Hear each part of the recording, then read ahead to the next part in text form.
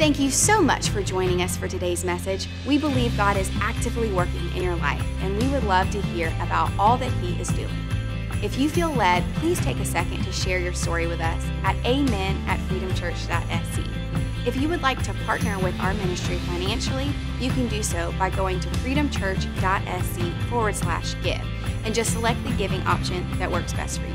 Thank you again for joining us. We hope you enjoyed today's message. Started a brand new series of sermons last weekend here at Freedom Church, and our key verse for the whole series is coming out of the 11th chapter of the first book of Corinthians, which, if you don't know, the Bible, of course, is 62 books that are put together to make up what we call the Bible, but there are 62 individual books in the Bible, and First Corinthians is one of those that's in what we call the New Testament, which was all written after Jesus. And this book of Corinthians, we called a book, but it was really a letter. It was a letter that Paul wrote to Pastor Paul, church planter Paul. We would come to know him as Apostle Paul. He writes this letter to the church in Corinth to give them instruction, to give them feedback, really to pastor them. It was much like a sermon because Paul had many churches that he was responsible for in the region. And so he would send letters to these churches, and then they would pass those letters around amongst all the churches and amongst all the people in the churches. And it was a way that they could learn, a way that they could grow, a way that they could be fed by their pastor, Pastor Paul. And so he sends this letter inspired by the Holy Spirit and included in our Bible to the church at Corinth, and I believe it gives instructions that are good instructions for us as well as in First Corinthians.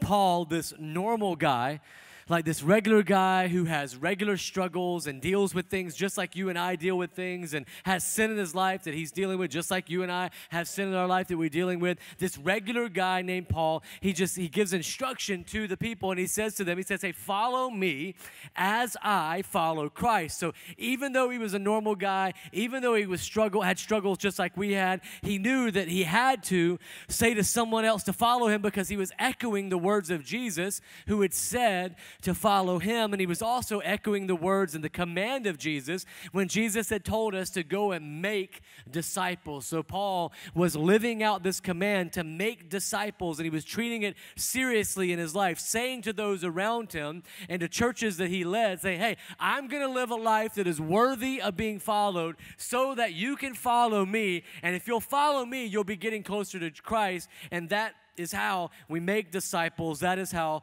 people grow. And so, why don't we do that then? Let's just continue to follow Paul, to learn from Paul, to see how he handles sin in his life, to see how he handles conflict, to see how he handles pain in his life. Let's look at Paul in the book of Acts.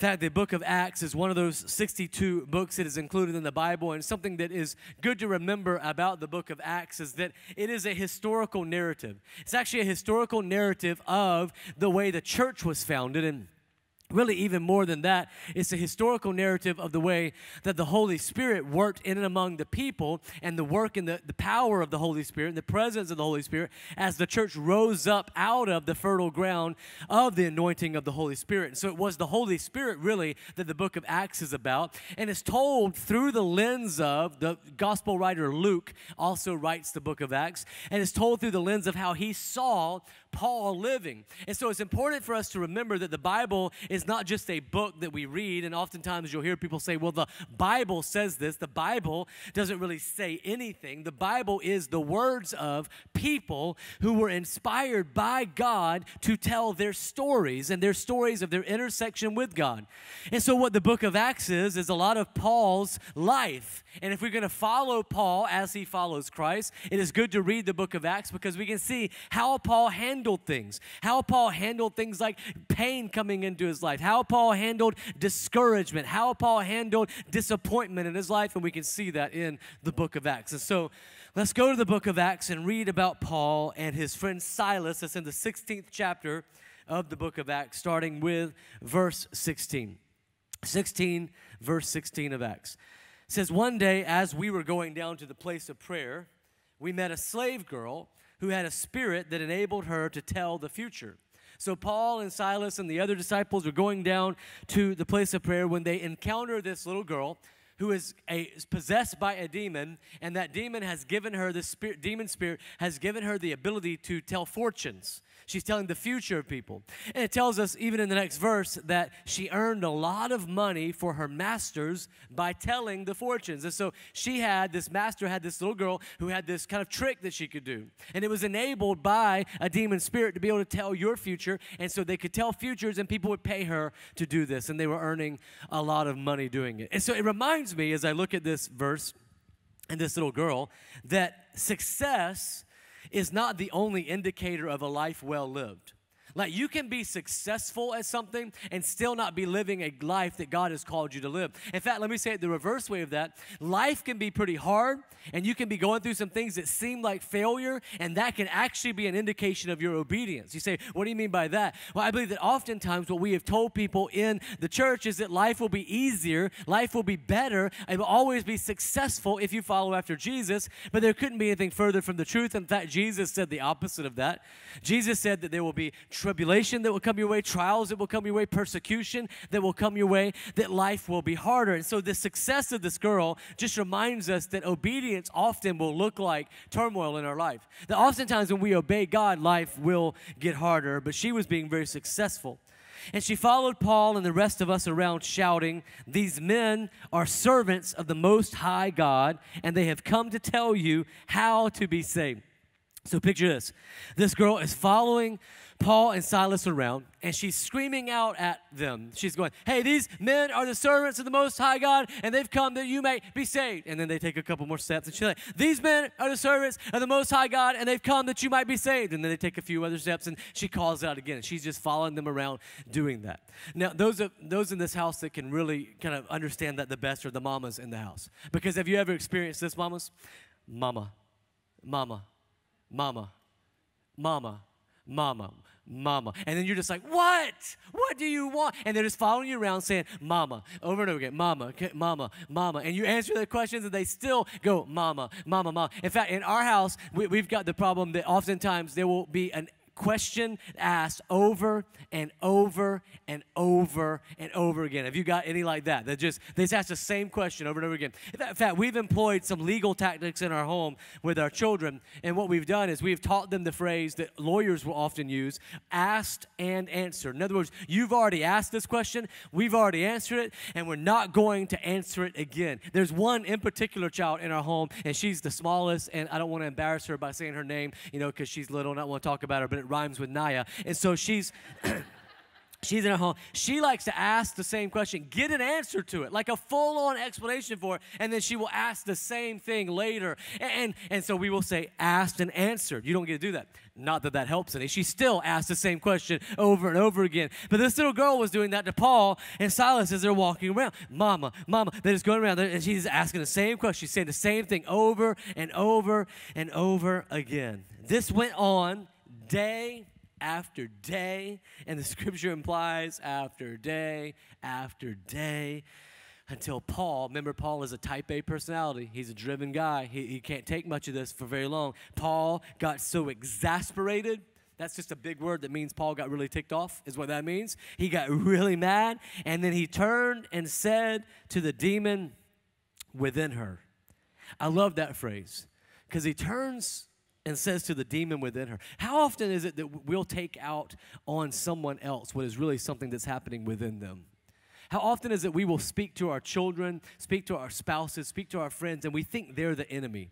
We think the fact that they're treating us poorly, the fact that they are not encouraging us the way that they should, the fact that they're not obeying, we think it's all them. But the fact of the matter is, is there's some turmoil inside of them that's going on. And Paul recognized this, and it's something that we can follow him in, is that our enemy is not flesh and blood. He would later tell us in another letter that he wrote. Our enemy, he would tell us, is against principalities and darkness and the dark places of this world. We're not fighting a battle against a physical form. It's not our spouse that we're fighting against. It's not our children, it's not our friends, it's not our coworkers. It's, it's, it's a principality and a darkness that we can't comprehend. But Paul says they're there and they're fighting for, against us, and we have to fight against them. We've got to realize that our battle is against something that is much larger than the person we're staring at and looking in the eye. Even sometimes when that is to look in the mirror and we fight a battle against ourselves, we've got to understand that there's something bigger going on. And Paul realizes that. He speaks to the demon within her. He realizes there's something within her.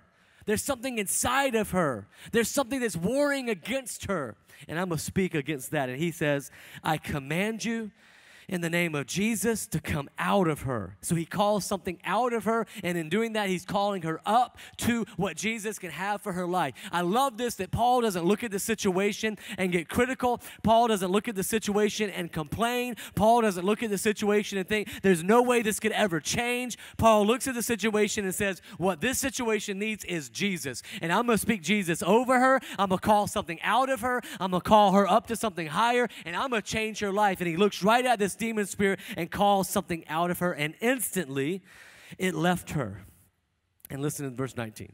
Her master's hopes of wealth were now shattered. Like, like this was the business plan for this man.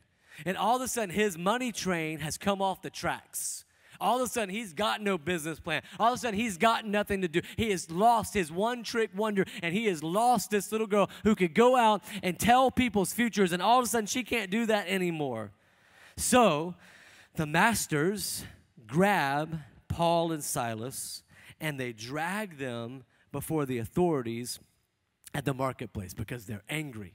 So they drag them over to the authorities and they've got to do something about this. They've just lost this income. What are they going to do about what Paul and Silas have done? And they go over, and this is what they say to the authorities. I love this. So, so they go over, remember, this just happened. This one little girl's following them around. There's no indication that anything else is going on. There's no indication that anything else is happening. But this one little girl's following them around. Finally, Paul looks and goes, Hey, I'm going to do you a favor. You get out of her. Now you stop following me around. You go on your way. He frees her from the spirit. And then look what this man, the master, says, though. The master takes him to the authorities and says, The whole city is in a uproar because of these Jews, they shouted to the city officials. Here's what I want to ask about verse 20, and sometimes you need to ask about things that are going on in your life. Is it now? Is the whole city in an uproar? Like, is it now? Is everybody in our workplace upset about this, or is this just you, Mrs. Go around and get a petition signed all the time? You've got one in your office too, right? Eh, eh, is everybody saying something?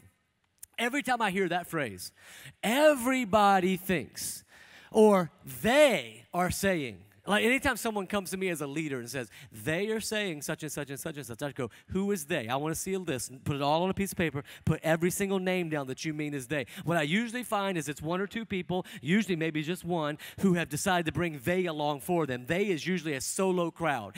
They believe this. Whenever someone comes, everybody's in the family is upset with you.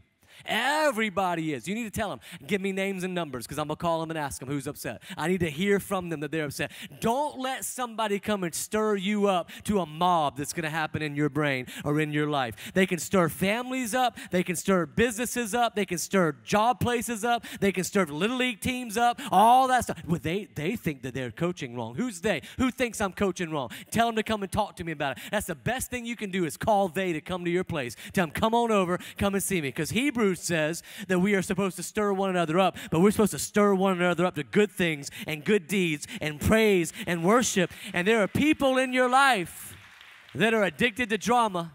They, they can't watch enough drama on TV at night. They got to create their, create their own in their life, and they are addicted to stirring things up, and they'll stir up a mob. Now, you, they'll come and tell you everybody's upset, and before long, they'll make you do stuff that gets everybody upset. Has one of your kids ever done that? They will come to you and make things such a big idea that all of a sudden you were going through the house and you were upset with everybody. Come to find out it was just their problem and they were trying to bring their brothers and sisters into it. That's what a big sister does good. A big sister brings their brothers and sisters into the other problem with them. And that's what people will do. They will stir up drama in their life. And so they go, they say that everybody's crazy. They've gone crazy. And then, and then looking, this is what you can always tell. You, you got to look at whoever's trying to stir things up you've got to see what their motive is. What is their motive? And the motive here is this guy's just lost a lot of money. You got to see what their motive is, and you got to see what their character is. And so all of a sudden, this, this master comes and he plays the morality police. Now, this is a guy who has had a young slave girl. Let's just stop there. He's had a young slave girl. He's had a young slave girl that he found out has a gifting from a demon spirit, and he's been making money off of her. And now he's going to be the moral police. Have you ever had that? Somebody that has no morality whatsoever, but all of a sudden, when you fail because you call yourself a Christian, they are quick to point out Leviticus to you. They know Leviticus, they don't know anything else, but they know some stuff out of Leviticus. They, they know how to quote that. Look at verse 21. He says, They are teaching customs that are illegal for us Romans to practice. So all of a sudden, he is all up in a stir. And then look at 22. A mob quickly formed. Well, of course it did. He stirred the mob up and a mob forms against Paul and Silas, and the city officials ordered them stripped and beaten with wooden rods. It escalates fast. It goes from helping somebody to being hurt in just a moment. And this is what happens. And then in verse 23, they were severely beaten, and then they were thrown into prison. The jailer was ordered to make sure they didn't escape. So they give him a job. They say, Look here, do not let these guys escape. They're, they've stirred up a mob out here. Everybody's going crazy. Put these guys in. Do not let them escape. So the jailer goes and puts them into the pit of misery. Dilly dilly. So that's what, no, it doesn't say that. It actually says, so the jailer put them into the inner dungeon and clamp their feet in the stocks, the inner dungeon. So the dungeon wasn't good enough. They go and take them into the inner dungeon, inside the dungeon, and they lock them in there and they put clamps on their feet. And I, this had me thinking, I wonder how many of us, we're not really physically in a dungeon, but we're in an inner dungeon. There's some stuff going on inside of us, and we are prisoners to the pain. We are held captive to the, to, to circumstances in our lives. We are held captive to the fact that we are bitter about something that's going on. We haven't let somebody go by forgiving them. We are in an inner dungeon. You may, may not be under shackles right now, and you may not be in a dungeon, but inside of you, there's a dungeon that is there, and it's keeping you hostage. It's hostage to your hostility, it's keeping you hostage to the fact that you won't let the healing come into your life. It is keeping you hostage hostage to the fact that you won't forgive them. It is keeping you hostage to the hurt that they brought to you. And you are walking around allowing yourself to be in a dungeon of someone else's making inside of you. They've got free rent right inside of you because every single day they are living inside of you. It is a dungeon that is an inner dungeon in your mind. It is a dungeon that is your thinking that is causing you to, to do the things that you do. It is your inner dungeon that you are held captive to, and you haven't allowed God to work in that. And these guys are put into this inner dungeon. And they have the potential right now to be held captive to their thoughts, to be held captive to their day. And the jailer put them in the stocks. And my sermon title for the day is What Do You Do When You Have a Bad Day?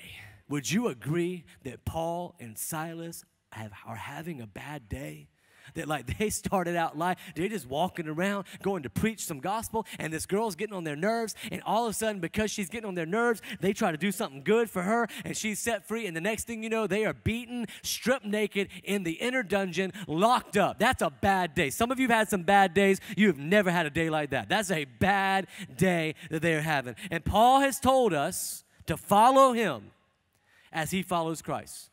So let's follow him into his bad day and let's ask the question what do you do, Paul? Like, what do you do when you have a bad day? Look at verse 25. First thing we've got to see is around midnight.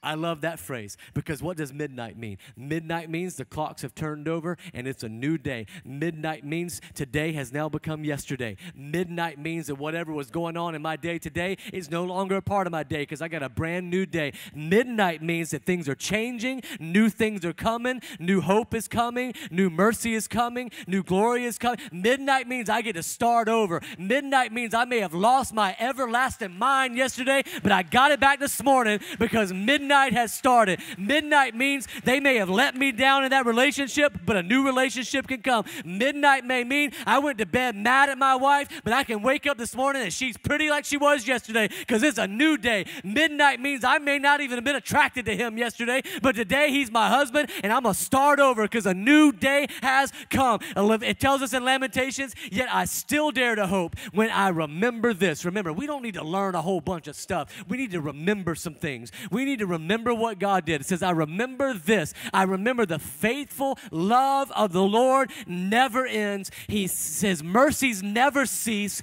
and that his great is his faithfulness. His mercies, listen to this, begin afresh every single morning at the strike of midnight. You got a brand new bucket of mercy to carry around. You may have spent it all yesterday being a terrible person, but you get some new mercies today. You may have been the worst parent that has ever lived on the face of the earth yesterday, but today you can be parent of the year because it is a new day. You may have failed, you may have fallen, but guess what? At midnight, you get to get up.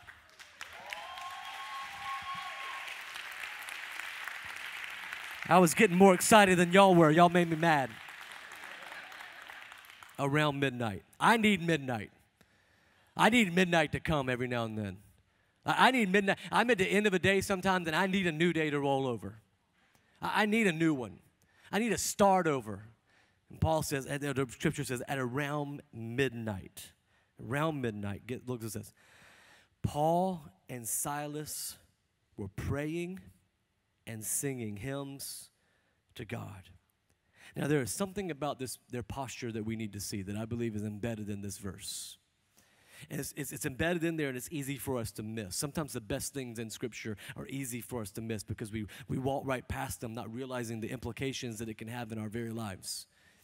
And right in this verse, there is, there is an implication. There's something that we're supposed to just walk past and assume. There's something that we're not supposed to notice, and it's the posture that Paul, Paul and Silas had going into midnight.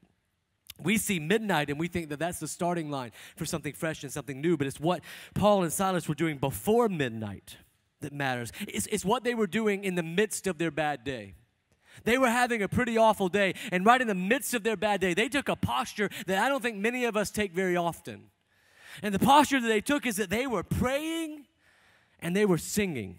They were at midnight already praying and singing. See, what we see in Paul and Silas, and they're teaching us right here, we're following them, remember, is that in the midst of their bad day, they were not tempted to develop a bad heart. And that is what we do, isn't it? Because there is a difference.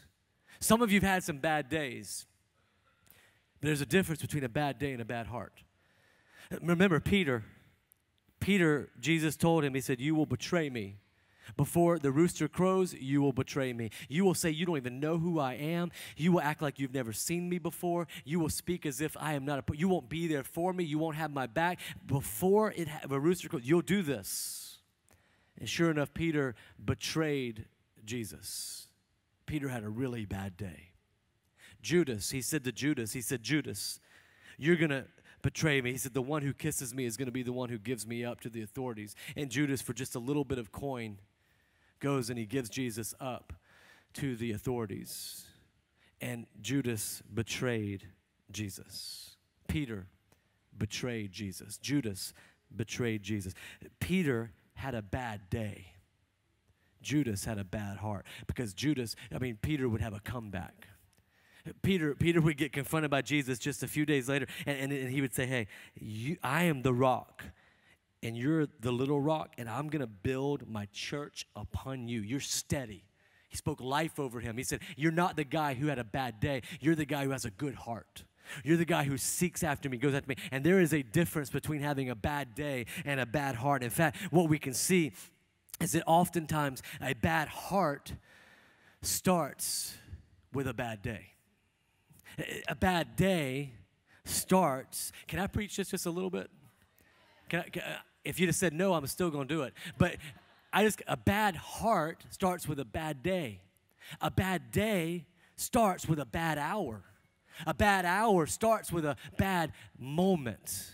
And it's in those moments that we have to decide. The scripture says that God puts before us to death or life. He says, There's death, there's life. You choose which one, death or life. And He says, Choose this day life. And every single moment, we have an opportunity to decide will this be a bad moment that I take captive and I put under the lordship of Jesus Christ? Or would this be a bad moment that turns into a bad day? And then for some of you, it's turned into a bad cycle and a bad season and a bad month and, and it's turned into a bad life. And now you walk around and you're complaining and you're just always critical and you're always having a bad day. You haven't had a bad, a good day at work in years. You don't even like your job anymore. You don't like your spouse anymore. You don't like your children anymore. You don't like anybody anymore. And you just walk around complaining and you think you've had a bad life. See, here's the thing you didn't really have a bad day.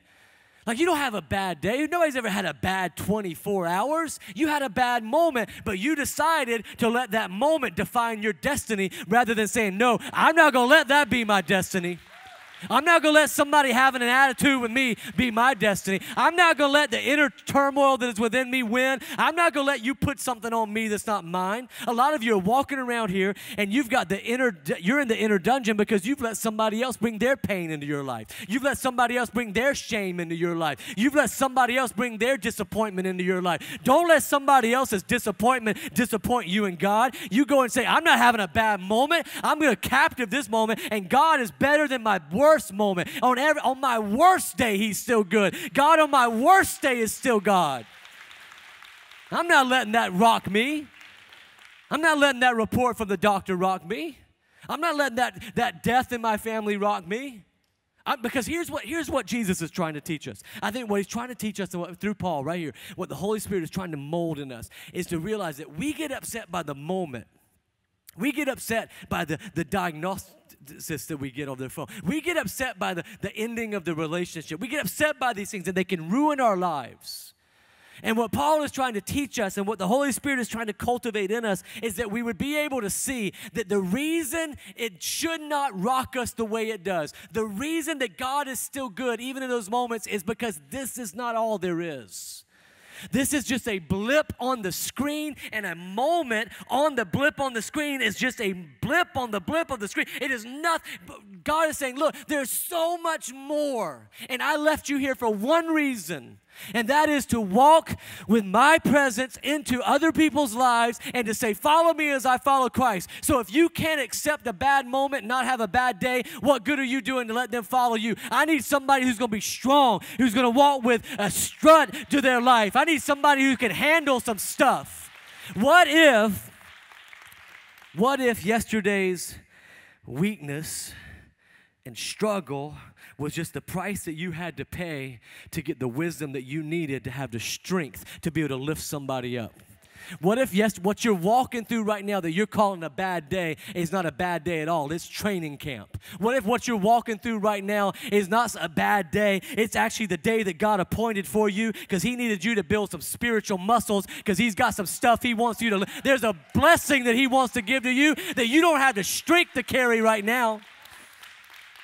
And he just wants to say, Look, I want to develop you into something. If you can't even handle a boss being a little bit snippy to you, how are you going to handle those principalities of darkness that want to come against you? And some of you go, I don't have any of that stuff. I got a great life. Everything's wonderful. Everything's blessing in my life. Everything's perfect in my life. Can I tell you that Satan's probably not against you if you're already on his team? I mean, if, you, are not doing anything to make a difference in the world, you probably got an easy life. You probably got an easy, like, like here's what Jesus said about our lives. He said, if you obey me, you're going to have trouble. And you know what he said? He said, There's a big, huge, open super highway. You can take that, it'll be much easier. But if you want to obey me, you're going to have to scooch in right between this little tiny place right here. And you're going to get in there, and it's going to be uncomfortable, and it's going to be painful sometimes. And I'm going to have to teach you some things because to get to the place where I want you to be more like me and be the direct image bearer of who I am, you're going to have to get some stuff out of you. Our bad days are often just sandpaper trying to get the stuff off of us that doesn't need to be on us. And it's just, just trying to develop us trying to develop us. And so they're there. And they're preaching this through their lives. Don't let a bad moment ruin your day. And then it says, and the other prisoners were listening. Last week we said that you get a chance to look at people and tell them, follow me. Just follow, follow me as I follow Christ. Do you know that I really overstated that in some ways because you really don't get an opportunity to say no? whether you like it or not, they're always listening. You know that song, I always feel like somebody's. They are. It was true. It wasn't, the, it wasn't just a paranoid person who wrote that song. They really are. They're always watching you. They're, all, they're always, your kids are always watching you. There's people in your life that are they're waiting. They're, they're waiting to see, is this real? Like they keep talking about this Jesus. Is it real?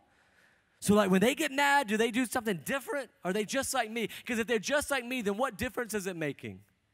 And all of a sudden, these guys are in chains, in bondage, in a bad day. And they're singing, and it says, and the prisoners were listening. Someone is always listening, someone is always following. It's just the real question is where are you leading them? You're taking people somewhere. The, the question that we have to have is where are we taking them? Suddenly, though, there was a massive earthquake, and the prison was shaken to its foundations. All the doors immediately flew open, and the chains of every prisoner fell off. The jailer woke up to see the prison doors wide open. He assumed the prisoners had escaped, so he drew his sword to kill himself. He had one job like one job. His job was to keep these guys from escaping, and he put them in the inner jungle dungeon. He put them in there. He, he put the ropes around. He tied them up. He locked them up. Everything, and now they're gone. So he's like, "I'm gonna kill myself because they're gonna kill me anyway." And he's so distraught. And all of a sudden, but Paul shouted to him, "Stop! Don't kill yourself. We're all here." The jailer called for lights because sometimes you need some light to come into your life, into the darkness, just to make sure it's real. Every, now and then, you just you need to make sure what you're hearing from God is real. God will give you what you need in the time that you need it. He'll give you this the vision to see what you need to see. He'll turn the lights on on some things where you can see some things, and He brings in the lights. And he ran to the dungeon and he fell down trembling before Paul and Silas. And then he brought them out and asked, "Sirs, what must I do to be saved?" We, we got to see this. The way that we act during our days of defeat, during our bad days will create a character in us that will also allow us to handle humbly our days of success. And when we do that in front of the world, they will come to us and go, I need some of what you've got. I need some, there's something different about you. When you fail, and you do fail, you're real. When you fail, you're authentic about it and you, you handle it with just unbelievable dignity. You, you handle it well. You always say you're sorry. When you lose your temper, you always come back and say something that, that's, that's different. That's just different about you. And then when you're successful, you don't rub it in our faces. You, you don't walk around acting like you're better than us. You just say it's all for Him, it's all His glory. It's all His glory. And when I, when I fail and I'm able to get up, it's His glory. He's the one who picks me up. When I'm up, it's only because He picks me up and He keeps me standing up. And you just, you just have something different about you. And they replied to him, Believe in the Lord Jesus, and you will be saved, along with everyone in your household. And they shared the word of the Lord with him and with all who lived in his household. The ripple effect here. There is a ripple effect. When you throw out anger, there's a ripple effect. Some of you are still living in the wake of the ripple effect of a father who was threw out, threw out anger all the time.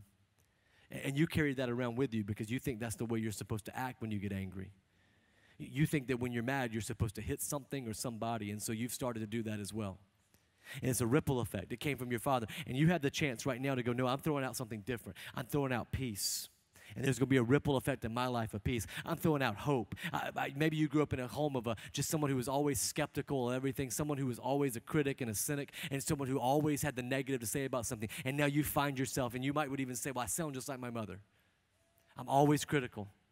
I'm always putting down the kids. I'm always, it's a ripple effect. The ripple effect will get to you, but you have a chance to make a new ripple effect, and you throw out life. And I'm going to speak life over my kids, and I'm going to speak life over my situation, and I'm going to speak life over my friends, and I'm going to assume the best about people, even when they're at their worst. I'm always going to assume the best about people, and it can shut down criti- cynicism in your life when you start to have that change in you.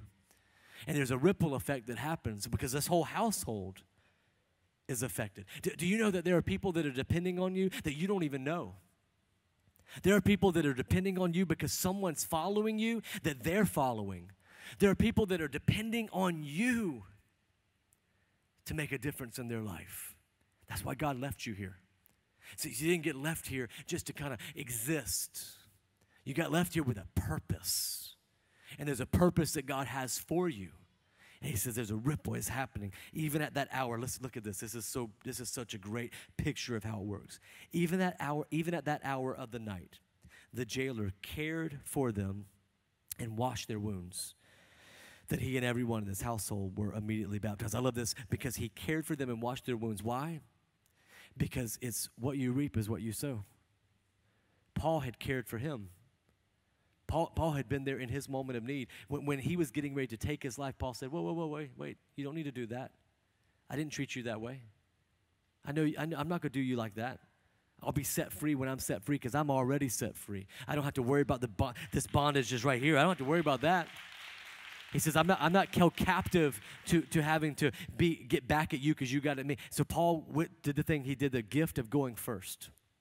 And there's some of you in here, you're waiting for your spouse to go first. Why don't you give them the gift of going first and you just forgive them? There's some of you in here who are waiting for your, for your children to obey before you treat them like children who obey. Why don't you treat them like children who obey? Love them, give the care for them, because it'll come back to you. The very thing that Paul needed to be cared for. Listen, he had been beaten up, stripped naked, and was bleeding and in pain. And in that moment, he was caring for someone else. The very care that he needed came because of the effect of it coming back to him. It was what he sent out that came back. And I just got to ask all of us what are we sending out? If, if you're getting criticism back all the time, how, how often are you critical? If you get bitterness back a lot of times, how often are you bitter? If you're getting something, you're not getting anything back at all, what are you giving? What are you putting out there? Well, Paul does that. He gets exactly what he needs. He brought them into the house and he set a meal before them. I love, I love this too. Then everyone in their household was immediately baptized. It's a spontaneous baptism, by the way. Paul was like, Look, we got some shorts, we got t shirts, we got the pool ready for you. If you need to get your hair did, we got that for you too. We got everything for you. And then, then, then they feed him. the, the, the, master or the um, jailer feeds Paul and Silas. The very one who had kept them captive is now the one that is providing for their nourishment and their sustenance. The very one who had taken life from them is now giving them life. All in an instant. Why? Because Jesus changed his life. And he and his entire household rejoiced because they all believed in God. The next morning, the city officials sent the police to tell the jailer, let those men go. Like you gotta let them guys. Those guys when they come, they got into prison. The whole prison shook and the doors flew open. We got to get those guys out of Dodge. We got to get them out of town. And so the jailer told Paul, "The city officials has said to you, and Silas are free to leave. Go in peace. Can I just show you this? Paul and Silas could have made their own way. They had a chance to take something before it was given to them. They had a chance to take their freedom before it was given. They had a chance to go out and get ahead of God.